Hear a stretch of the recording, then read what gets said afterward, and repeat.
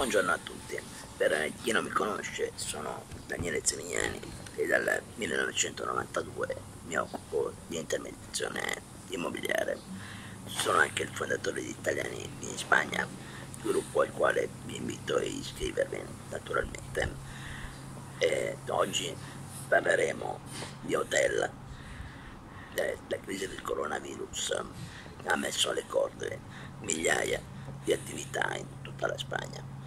Il blocco dell'attività nella prima settimana de, dello stato di allarme, le restrizioni sulla mobilità e la riduzione dei consumi dovuta all'incertezza economica e lavorativa ha obbligato molte imprese alla chiusura definitiva.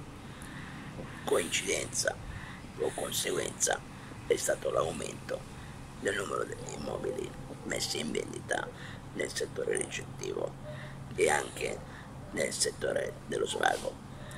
Analizzando idealista si possono vedere almeno 27.300 uffici in vendita in Spagna, circa 500 hotel e oltre 200 locali notturni.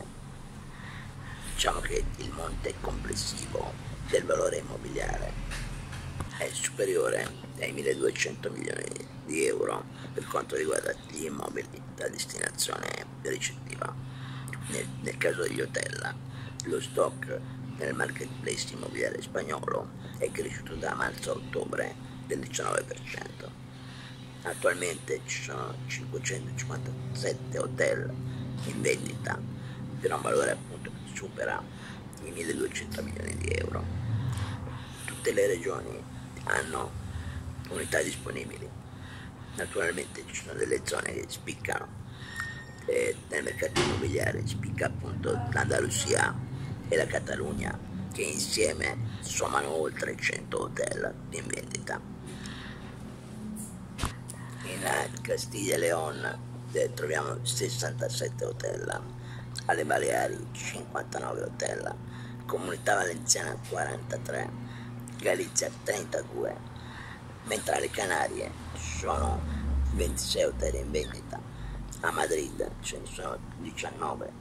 Se facciamo un'analisi per provincia, Barcellona sicuramente è una delle province più colpite, eh, con 49 hotel in vendita.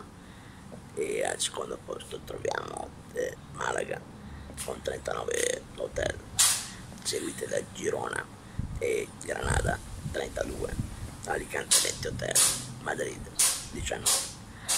Il range di prezzo è molto vario, il meno caro lo troviamo da Logrogno per un valore di circa 400.000 euro, mentre il più caro lo troviamo da Ibiza con un hotel in vendita a 52 milioni di euro. Si tratta però di un immobile che supera i 4.000 metri quadrati e si sviluppa su sette piani. Il settore hoteliero è profondamente in crisi. Secondo uno studio realizzato dalla società Cushman e Wakefield risulta che gli hotel non torneranno a recuperare i loro volumi di fatturato 2019 prima del 2023. Ottimo, quindi non mi voglio dilungare eccessivamente i numeri e statistiche. Eh, nel prossimo video parlerò dello stock di uffici in vendita in Spagna. Naturalmente sono disponibile per qualsiasi consulenza immobiliare al link che vi metto in descrizione del video mentre per tutto quello che riguarda le informazioni gratuite vi consiglio di iscrivervi al mio canale YouTube e iscrivervi naturalmente al gruppo Facebook Italiani in Spagna che metto il link in descrizione. Pollicione in su se vi è piaciuto il video e buona fortuna a tutti.